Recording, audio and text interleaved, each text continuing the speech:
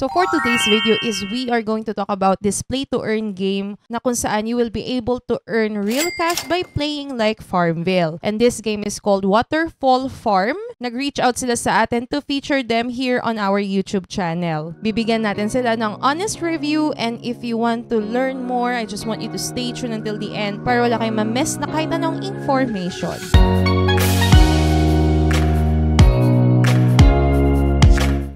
Tayong 200 pesos GCash giveaway sa bawat uploaded videos ko dito sa aking channel. Mag-like and comment ka lang at may chance kang manalo ng 100 pesos GCash. Two winners ang pipiliin natin through comment picker at ipopost natin ito sa susunod nating video upload. Simple lang, kaya mag-like, subscribe, turn on the notification bell at piliin ang all para more chances of winning.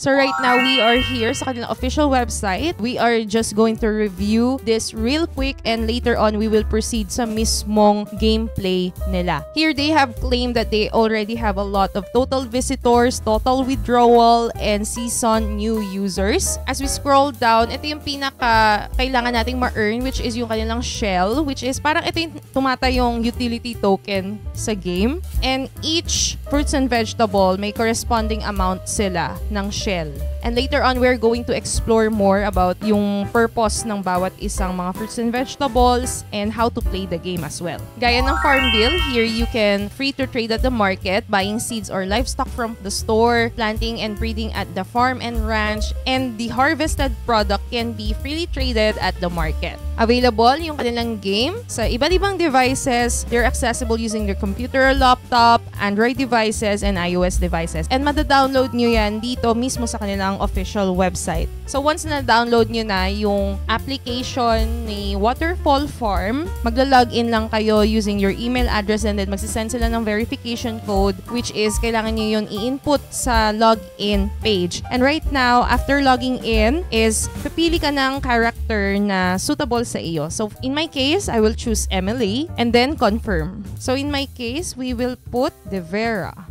Right? So start. Kung isa ka sa nakapag-register this time is meron po silang new user welfare package. Register to receive game gems worth $4 and upgrade to VIP and get a reward of $5 directly. Kung ikaw ay isa sa mga nag-register, may enjoy mo yung mga promos na ito. So once na nakapag-login ka, magkakaroon ng tutorial on how to plant dito sa Waterfall Farm. And may similarities lang din naman ito sa Farmville kung ikaw ay naglalaro ng Farmville nung araw. Kagandahan lang nito is you have the full access dito sa island na ito which is na-unlock nyo yan eventually pag kayo ay nagkaroon ng higher level and experience So, paano nga ba maka-earn dito? So, maka-earn ka dito depending doon sa mga na-harvest ninyong crops. So, in my case, I already have here blueberries. Ayan, nakakapag-harvest po ako ng blueberries sa aking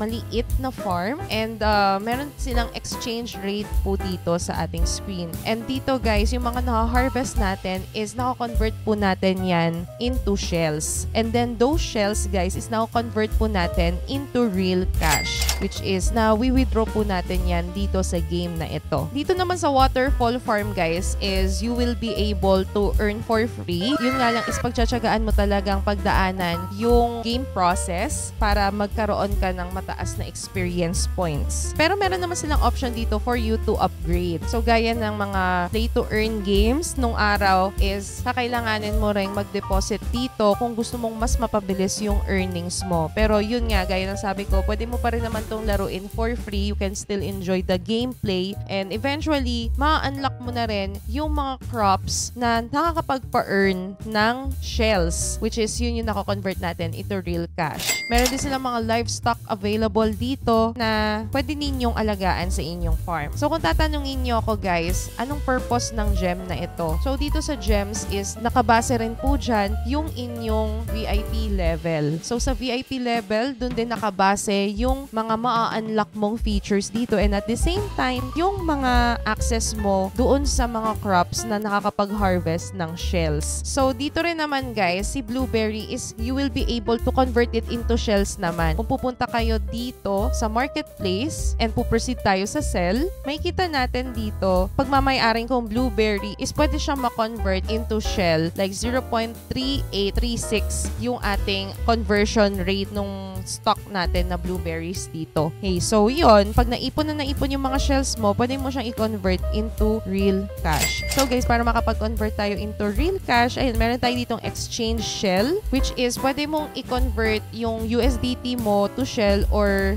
vice versa, kung itatap nyo tong reverse button na to, ayan, uh, 101 is to 1 yung exchange rate, which is 100 shells is equivalent to 1 USDT. So ito naman guys, yung ipapakita ko sa inyo para mas mapabilis yung way of earning, optional lang naman po ito is mag-upgrade po tayo into VIP. I just want to warn you na hindi po kailangan na ibuhos natin lahat ng funds or pera natin dito sa game na to para maka-earn ng malaki. This is just for fun, for extra income, income, yung mga play to earn enthusiast, ayan, para sa kanila ito, you still need to know how to manage your money. So, do not deposit the money that you cannot afford to risk. Tsaka hindi rin natin alam kung kailan magtatagal itong larong ito. Kaya may ups and downs din kasi sa mga play to earn. Kaya hindi ko kayo hinahype na yayaman talaga tayo dito. Okay? So, right now is I already have here 500 USDT sa ating account deposited. So, para makapag-deposit po kayo, punta lang kayo dito sa recharge.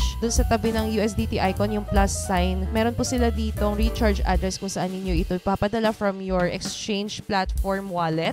So, it can be Binance, ano pa ba, PDAX, kung saan mayroong USDT, TRC20. So, ayun, ipapasa nyo dito and then magre-reflect po yan dito sa inyong balance once transferred. So, as of right now, we have here 500 USDT and para makapag-upgrade tayo into VIP at ma-access na natin yung mga iba't ibang crops na nakakapag-produce ng malaking shells, proceed po tayo dito sa gems. So, nandito po ulit tayo sa exchange page po nila na kung saan ang first step dito, guys, is ko-convert muna natin yung USDT natin into shells. So, kung pupunta tayo dito, exchange all, yung 500 natin, ang obtained amount natin na shells is 50,000 shells. Click natin yung submit. There you go. We already have 50,000 shells converted. Next step is i-convert naman natin ito lahat into gems. So, exchange all and magkakaroon na tayo dito ng 50 million gems in order for us to have VIP access. Okay? So, right now, tap natin itong submit. So, as you can see, may kita natin dito that we are already upgraded to VIP 2. V2. Meron na tayong access sa oat seeds and corn seeds na kung saan makakapag-harvest ka and pwede mo na itong i-convert into shell. Baga mas mataas yung rate. Magkakaroon ka rin ng mga iba't ibang access pa dito to unlock other features sa inyong land. Kung itatap natin to, would you like to spend, hindi pa actually siya available do sa zero VIP level natin. Confirm natin siya. Ayan. So, sige nga mag-plant tayo ng corn seeds. Ayan, nakapagbili tayo ng corn seed and kailangan kasi magkaroon ka ng mataas na balance ng gems in order for you to be considered as VIP. Kung wala kang balak na mag-deposit dito ng amount is tsatsagain mo talaga na maka-earn ng malaking amount of gems. Like, magtanim ka ng mga blueberries. Tsaga-tsaga lang talaga. That's basically it. And magkakaroon pa tayo ng iba, ibang access. Ay, meron na tayong chicken and duck. O, di ba Ang cute. So, nakapagbili na po tayo ng chicken. Di ko lang alam kung saan ko siya ilalagay.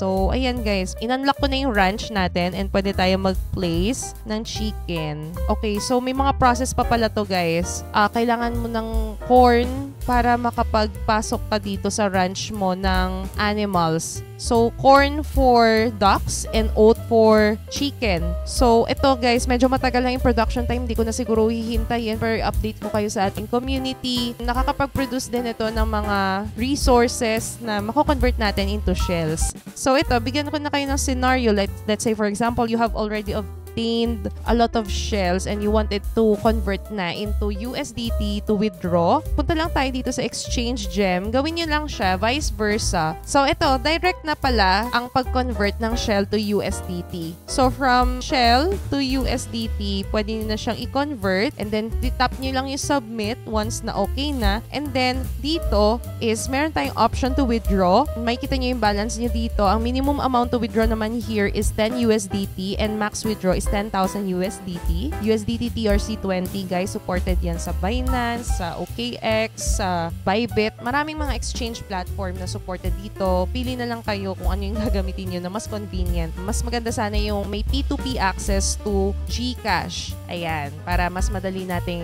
magastos na yung earnings natin dito. Okay? So, yeah, that's it for Waterfall Farm. Again, meron silang new user welfare package na mag, pag nag-register kayo, makaka-receive kayo ng $4 worth of game gems and makakapag-upgrade kayo to VIP already and makakuha kayo ng $5 reward directly. Alright? So, if you have any questions, you can comment down below sa ating comment section and right now, we will proceed to our honest review. So, for my honest review dito sa Waterfall Farm, all I can say is maganda yung gameplay niya you have the opportunity pa rin naman to earn. And ang nagustuhan ko pa dito is you still have the opportunity to earn for free. Yun nga lang, very slow. Kailangan mo magtyaga. Ayun, optional lang naman guys yung pagde-deposit dito. It's up to you. But if you want to enjoy the gameplay itself, mas maganda, mas challenging sana na tsagain natin yung game para maka-earn tayo ng maraming gems. I still want to explore this game dahil nakakatuwa siyang laruin. Marami siyang access dahil full island yung pwede mong kontrolin din. ba? Diba? So, yeah. Ayan na. Nandito pa nga si Maui, oh. Hinahanap ko nga actually si ano eh. Si Moana.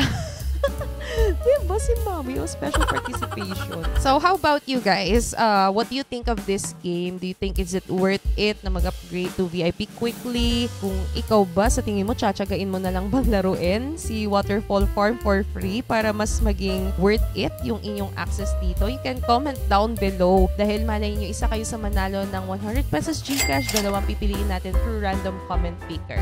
So, ito na guys, i-emphasize na natin yung new user welfare package nila. Paano ba talaga makukuha yung free $9 na bonus dito sa Waterfall Farm. So una-una, mag-register uh, dito sa Waterfall Farm, link in the description box below. And then makaka-receive kayo ng uh, gems worth 4 USD.